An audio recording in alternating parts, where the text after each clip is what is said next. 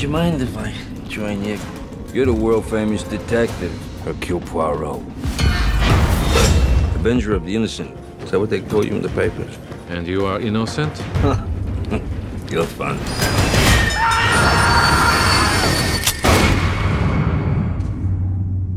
A passenger has died. He was murdered. The murderer is on the train with us now. And every one of you is a suspect. so, let us catch a killer. A man was rummaging around my cabin in the middle of the night. You are certain it was a man? I know what it feels like to have a man in my bedroom. What did you think of the dead man? You leave her out of this. Did he have enemies? Ah, Pick a number. The real killer is right here. One of you people. We're surrounded by lies.